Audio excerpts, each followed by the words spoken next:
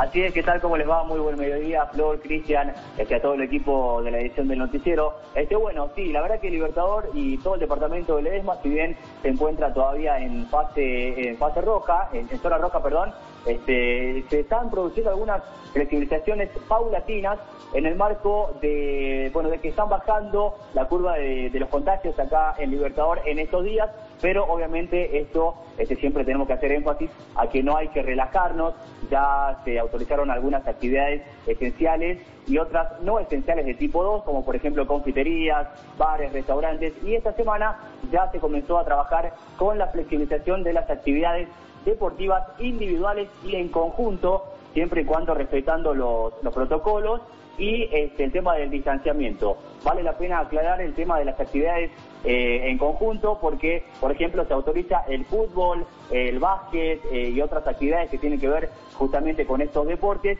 pero únicamente en la modalidad de preparación física y no la realización del deporte en sí. Esto es importante destacarlo en el horario de lunes a viernes de 8 a 21 y los sábados de 8 a 19 horas, respetando, como bien decía, todos los protocolos que, por cierto, están siendo controlados por parte de la Dirección de Comercio, por parte de la Dirección de Deportes y también recordando que también en Libertador acá están autorizadas las caminatas, los trotes y el ciclismo en ciertos puntos estratégicos de la ciudad para que puedan ser controlados justamente por la, bueno, por la gente que está trabajando en estos controles acá en Libertador.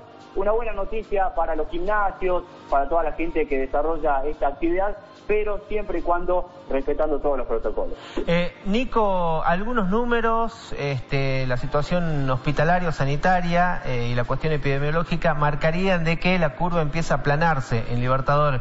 Eso me obliga a preguntarte cómo está el ánimo ¿no? La gente después de los momentos que les ha tocado vivir, sobre todo retrocediendo dos semanas atrás.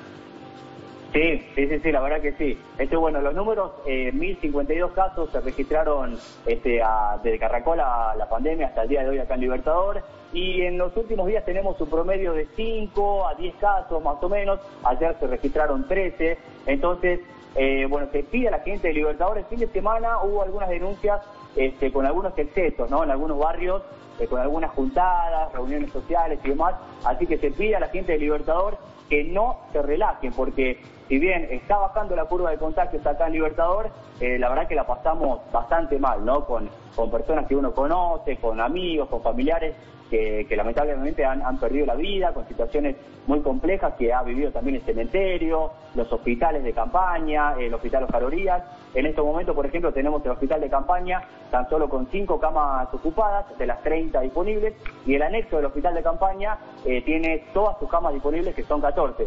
Entonces me parece que estos números hablan un poco de la situación que está viviendo hoy en día Libertador y es por eso que se están dando estas flexibilizaciones. El ánimo de la gente eh, por el momento bueno, pero el fin de semana, por ejemplo, se esperaba eh, por parte del sector gastronómico, de las confiterías y de los restaurantes, un poco más de gente. Me parece que, todavía la, ciudad, la ciudadanía de Libertador está con cierto temor y todavía esto este, no, no, no se ve reflejado en, la, en el, bueno, en que la gente vaya a los restaurantes, a los bares y demás, porque el fin de semana hubo movimiento, pero no tanto como se esperaba desde este sector. Vamos a ver qué pasa esta semana con la flexibilización de las actividades deportivas. Sabemos que ya están trabajando los gimnasios este, con protocolos bastante estrictos, eh, así que bueno, siempre este, recordando la fecha que se puso por parte de la Dirección de Comercio, que es hasta el 13 de septiembre, y de ahí se va a hacer una, una evaluación acerca de cómo fue el comportamiento social y de los propietarios también de los gimnasios y de toda esta gente que se dedica a la actividad deportiva. Excelente, completísimo el reporte como siempre, Nico. Muchísimas gracias, Maximiliano, allí también desde la ciudad de Orán.